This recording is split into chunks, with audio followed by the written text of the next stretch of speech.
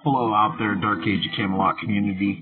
Uh, today I have a remake of a video as it seems to be missing on my YouTube channel, which I'm sure the developers and the communists that have hijacked this game to push their communist agenda, as Midwest Mystics said, and I have the screenshot to prove it, that uh, plans have already been set in motion that cannot be undone to turn Dark Age Camelot into a communist utopia. Um, now, since I'm going to stay on the video, you're going to have to forgive my sarcasm. See, I'm allergic to bullshit. Okay? And when I get subjected to stuff like that, such as liberal Democrats pushing a communist agenda through a video game, I break out in sarcasm. So we're going to get started on the video. I'm going to remake it. So if it disappears again, it'll be backed up not only in my Google Drive, because I'm recording this with my Android, it's going to be on the phone, which means I'm then, then going to plug it into this USB with my developer options and file transfer it to my PC and back it up as well. Okay, so don't get any ideas out there. Um, today we're going to talk about the effusions, how to obtain them, and what they do, as well as watch how some of them work. Um, so as we get started, to obtain the effusions, especially the effusions of comprehension, which you may have noticed I used those on my minstrel the other night for buffing her charisma to increase her magic damage. Uh, it also works with healing classes. It will increase their piety or empathy depending on which uh, stat they use for casting, and will increase the effectiveness of their healing spells. All right you need to purchase them from the box of rare potions. This is my initial template that I use when buffing Cindy to run her quests. Okay, you will notice I have a full 25% spell duration, a full 25% stat buff, and a full 25% healing bonus. Uh, the reason for that is the healing bonus actually affects your healing procs in your armor, healing procs in weapons or shields, as well as the healing that comes from the delve values of a healing potion. All of those are considered spells in the game's coding. So having the bonus will add to that. Okay, you'll notice I have a revivifying salve. There are eight potions that you get from these box of rare potions that are 500 bounty points per box. Okay. As you can see, I have 409,000 bounty points remaining. If you caught my video on the Effulgent Dreaded Seal that I turned in with maximum bonuses, I went from about 700 bounty points to 443,000 with that seal, as those seals are worth bounty points also. Um, to make up for the bounty points that you cannot earn from running certain quests that you can run on the PvP servers. So what I'm going to do is I am going to buy two boxes to show you how they work. Now they must be unstacked. Alright, they have a little, you know, question mark like a global use. Okay. Now once you use them, you'll get a random effusion. Okay, once you get down to one box unstacked, okay, you do have to, of course, use them each one at a time. Now notice I got two different ones there. It is random. Uh, there are percentages for each potion. Some potions come up more than others. All right. Um, they are considered spells when you use them, so they do get the 25% spell duration bonus. And we're going to take a look at how the stat buff potions affect the stats. Now, comprehension will not affect Cindy because she's not a casting class. Okay, that's why I did it on my minstrel. Okay, but you see I do have one just to show you that's how you obtain them. Uh, those are very useful. All right, so the effusion of invigoration. Okay, this is a single charge use. All right, you have to be level 49 to use it. it is a group endurance replenishment potion. Now, these potions are on the 60 second global potion timer, which means when you use them, you will not be able to use any other potion for 60 seconds. All right, the second one, Effusion of Omnipotence, similar to Invigoration, it is a group power replenishment. Once again, 60 second timer. All right. Uh, the Revivifying Salve, which I've already clicked on, is a group heal single charge. 350 is the delve value.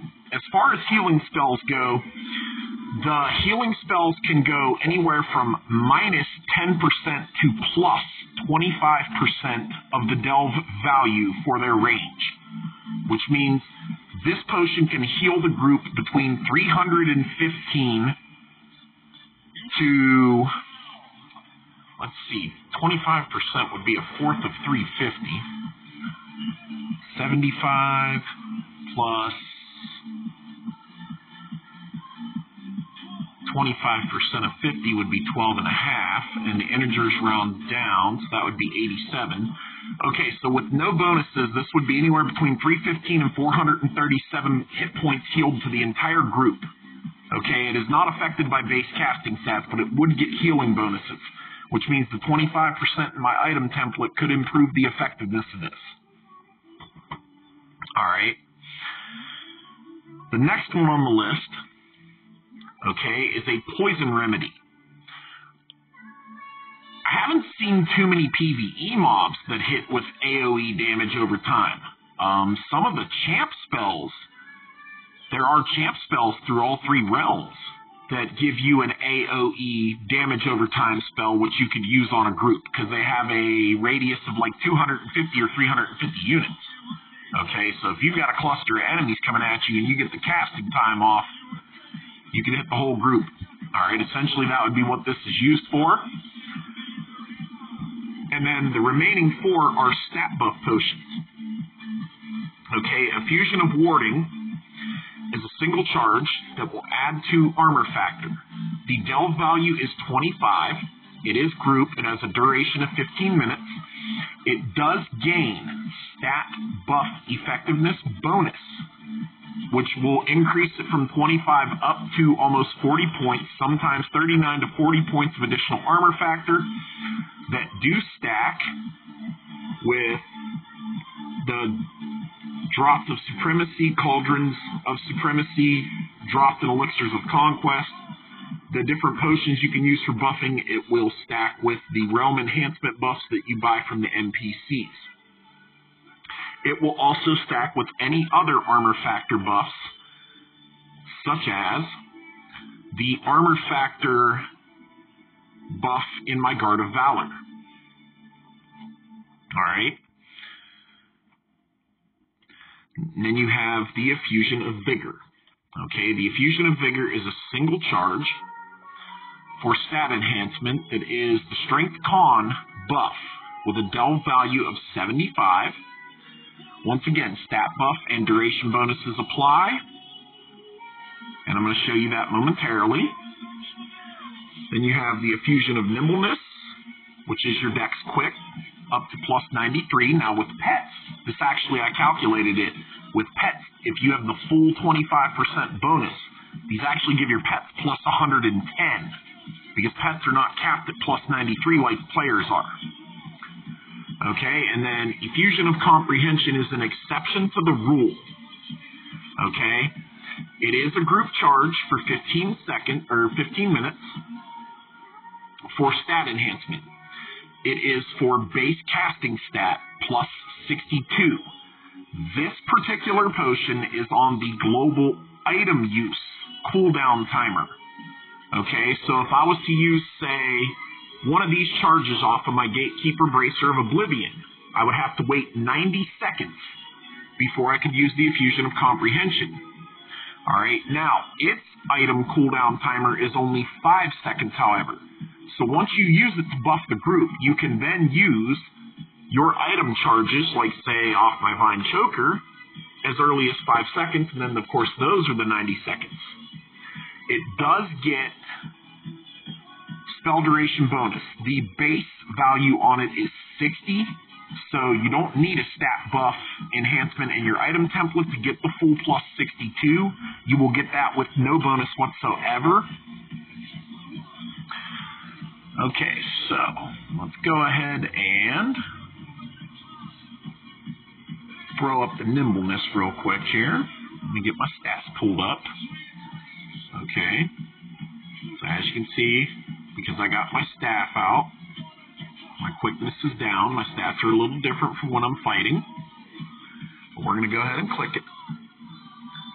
Okay, so as you see, 18 minutes, 45 seconds. But I get full 93 to both. Okay. So now I got to wait 60 seconds. We'll get vigor pulled up and warding ready to go.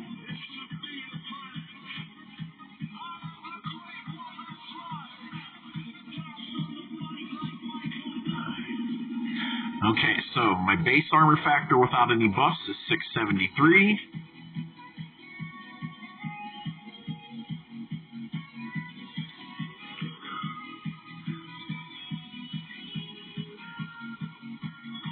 Let's see how much time I have. Okay, 17 more seconds. I'll be able to use the Vigor of the Defiant from my Effusion of Vigor.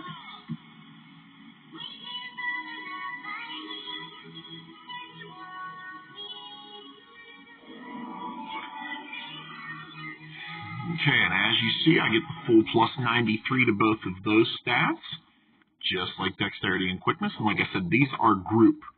Um, the reason I use these for pets, your controlled pets, I'm not sure about Theurgist pets, since those are castable pets. Um, so I would have to do some testing. I'd probably have to create a Theurgist or party with one to test it. Your controlled pets and charmed pets also gain these bonuses. They are considered a member of your group in the coding, even if you're solo. Having a pet makes you in a group, so to speak. Okay, so they are affected by these bonuses. That's important to remember for classes that have pets and only have certain buffs, because this can buff them, as my video with the minstrel shows, and make them much more effective in combat. Legitimately more effective, might I add. Alright, let's see how much time I have remaining on warding the protection of the ancestors. Ah, the 60 seconds is over. And I go from 673 to 712, which is an increase of 39 points on my armor factor.